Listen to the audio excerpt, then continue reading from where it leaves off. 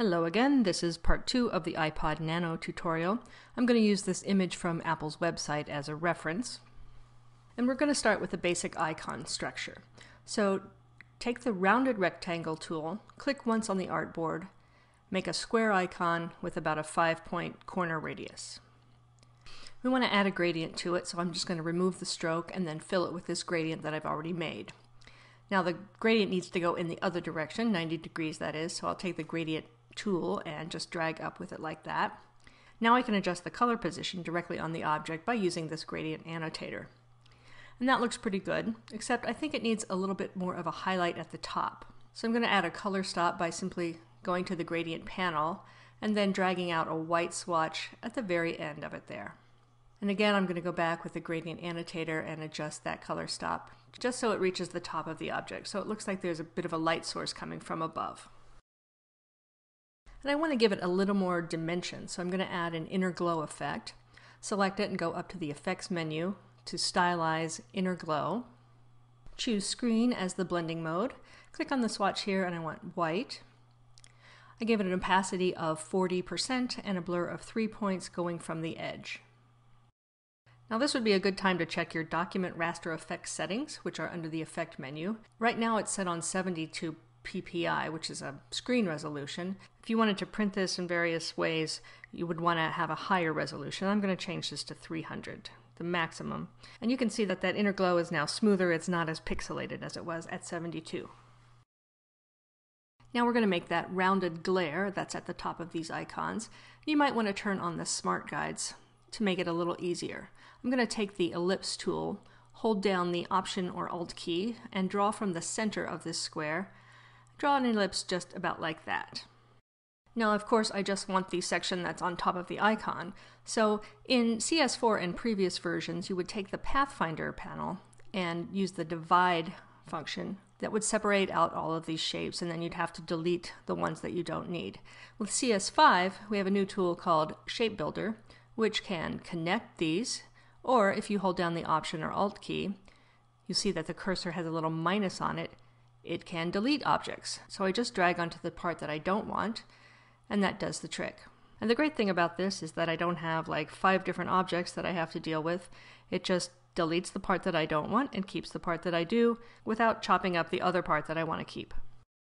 Now we want to change this top part to look more transparent, so I'll go to the transparency panel and choose overlay as the blending mode. Now I need to change the color and I'll add a black to white radial gradient. Now, of course, this looks a little too dark now, and you can see the thumbnail in the transparency panel. So I'll take the gradient tool and just drag this way out so it's more like bright white to light gray. And I'll nudge that up so it's coming from the very top. The benefit of doing it this way is that you can keep that black and white gradient on the top shape and change the color of the bottom one. So that's how I did the other two colored icons. If you look closely at the icon, you can see these faint diagonal shapes inside. Now there are several ways you could do that. You could use the draw inside mode in CS5 and draw a bunch of diagonal lines. You could draw the lines first and then create a clipping mask, but we're going to do it just sort of quick and dirty with a pattern fill. First copy the icon and then paste it in front. Command C, Command F. Then in the swatches menu, Scroll down to the patterns and find the basic graphics textures. You can't see it on the screen now, but here it is. These are built into Illustrator. Now fill the shape that you just pasted with these diagonal lines. Change the blending mode to multiply and make the opacity very low, about 20%. So it's not exactly how the icon is on the iPod, but you can use any of these other pattern fills if you wanted to for a different look. And of course it works on the other colored icons as well. Now we're going to make the atom icon.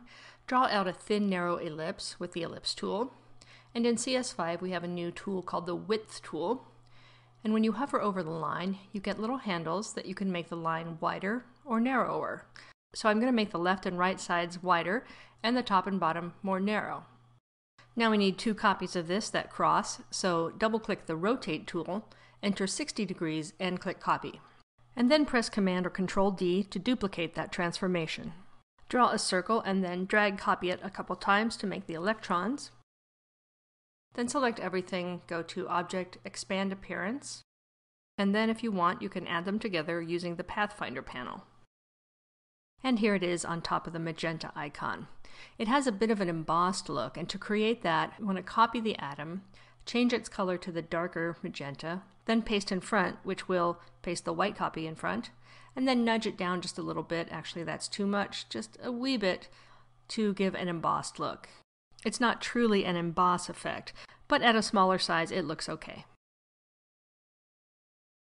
For the sake of brevity, I'm not going to go through each and every icon, but they were done the same way as the atom one. This one may need a little more attention, it looks barely human. The gray icon was done differently. It has an inner glow that goes from the center rather than the edge, so the edges are darker and give it some dimension. The buttons also have an inner and an outer glow, again for added dimension. Each icon has a drop shadow, and I'll add one to the gray icon by going to Effect, Stylize, Drop Shadow. I've already set this one up to be rather light, 45% opacity, and the X offset refers to the position of the shadow left or right. I'll leave that at zero and just have the shadow showing a little bit at the bottom. Now we just need to create the screen and we're almost done. Draw a square and then go up to Object, Path, Offset Path. I've entered 24 points. Yours might vary depending on the size of your square.